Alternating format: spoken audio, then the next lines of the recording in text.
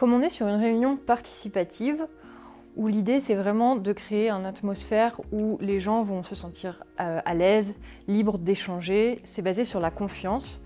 C'est important de commencer par accueillir les participants euh, avec euh, bienveillance pour qu'ils se sentent directement à l'aise. Donc prévoir 15 minutes pour que les gens aient le temps d'arriver, de discuter s'ils se connaissent déjà. Prévoyez un café, des petites viennoiseries. Voilà, prévoyez vraiment un temps d'accueil pour que les gens se sentent à l'aise. Bonjour. Bonjour.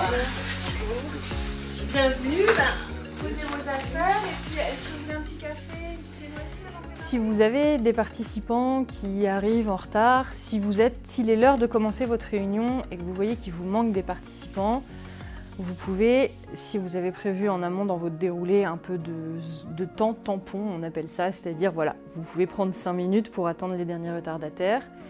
Commencez quand même pour ne pas vous mettre trop en retard et accueillez au fur et à mesure euh, les participants qui arrivent en retard. S'ils arrivent en cours d'exercice, expliquez-leur les consignes, euh, mettez-les à l'aise, incluez-les dans des groupes si besoin, accueillez-les comme les autres, même s'ils sont en retard.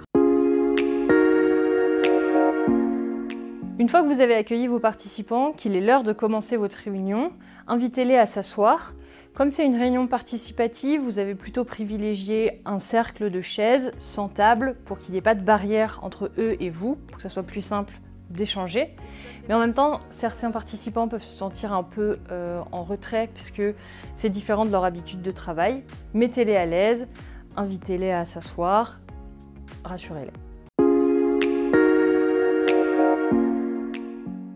Quand vous commencez votre réunion, bien sûr, introduisez les objectifs, les horaires, etc.